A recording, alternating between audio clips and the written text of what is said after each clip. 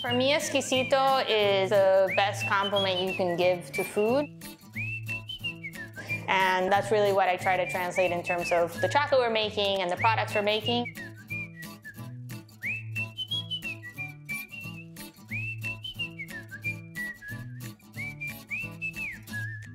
We're really trying to take it back to its origin and what it used to be, which was just the pure cacao and unrefined cane sugar. We don't blend any of our cacaos, and you really get to taste the differences in, in the farming and how it's done. It takes us four days to turn cacao beans into chocolate.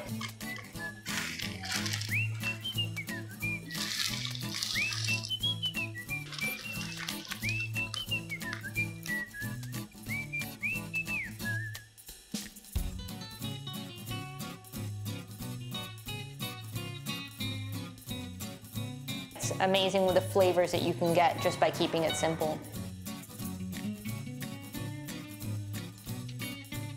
Um, so we like to kind of Latinize and kind of Miami-fy a lot of our stuff.